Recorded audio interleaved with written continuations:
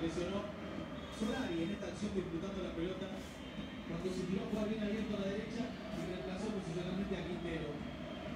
Habían entrado Matías Suárez y Lucas Beltrán en River. Ahí se frena el carro y se le produce la dolencia que generó el ingreso de José Paradela en su reemplazo.